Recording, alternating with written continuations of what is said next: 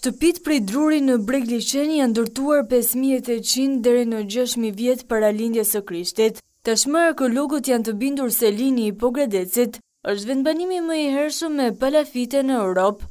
Me ato çfarë kemi kërkuar deri tashti dhe me rezultatet paraprake që kemi marrë, Sigurisht bëhet ajo ose konfirmojmë atë që për llojin e vet ky lloj vendbanimi rezulton të jetë nga më i vjetri në në Europë. Kërkimet arkeologjike në liqenin e Ohrit nisën në vitin dy mijë e njëzet e një dhe do të vazhdojnë deri në dy mijë e njëzet e katër.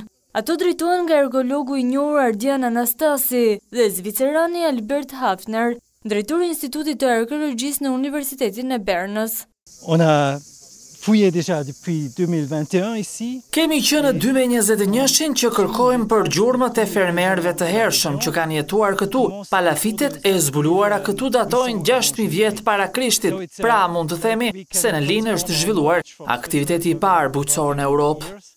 Por sa më shumë palafite të zbuluara, aq më shumë pikëpyetje ngrihen për studiuesit. Nga viti në vit, gjithmonë kemi rezultate të cilat janë befasuese edhe për ne, siç është rasti i këtij viti, ku është zbuluar ky muri, të themi, me pilota druri mbrojtës i vendbanimit, i cili është i ruajtur shumë mirë, është i qartë, Dhe që është një nga shembujt e rrallë në Ballkan.